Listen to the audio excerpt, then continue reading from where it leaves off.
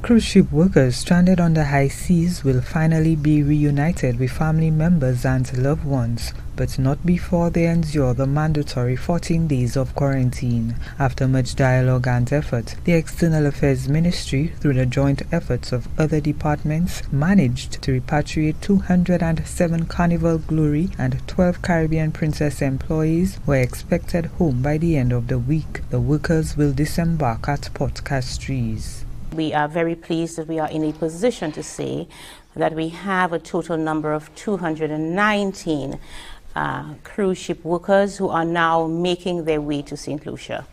They're on Carnival Cruise Lines, Carnival Glory, and we are expecting that these 219 St. Lucians will arrive here in St. Lucia on May 8th, on the evening of May 8th. So we are very pleased to provide this update. Uh, I'm sure families out there will be very, very relieved to hear that. Prime Minister Allen Chastanet indicated that about 200 nationals could be repatriated at one time due to the capacity of the quarantine facilities.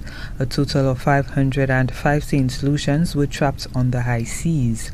Tourism Minister Dominic Fedee says the return of another batch of St. Lucians has been delayed due to the occupancy limits at the quarantine facilities all of these individuals that are coming from uh, COVID hotspots, they were coming from the South Florida area in the United States.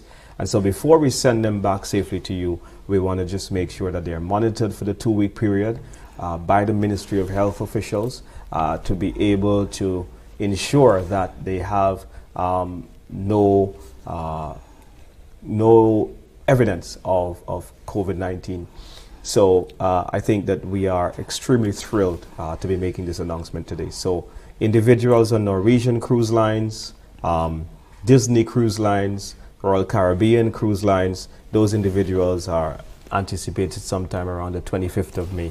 Questions have been raised as to when other nationals will be given priority. The External Affairs Ministry is reportedly awaiting official word from the Chief Medical Officer a lot of people who are saying, but what about uh, my son or daughter who is out there, not on a cruise ship, but out there nonetheless who wants to come home?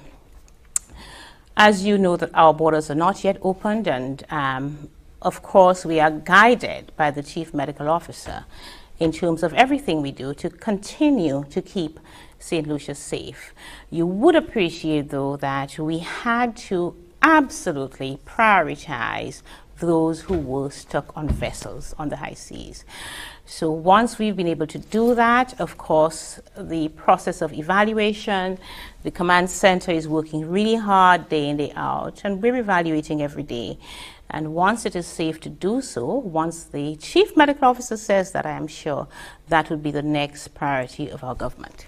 Upon disembarkation, returning nationals are alerted to the mandatory wearing of face masks, the immediate transportation to a government-operated quarantine facility where they will be housed for a period of 14 days, and screening and testing for COVID-19 during the quarantine period. The government is utilizing some 300 hotel rooms across five different hotels for the quarantine of the cruise ship workers. Gina Filippi, HTS News Force.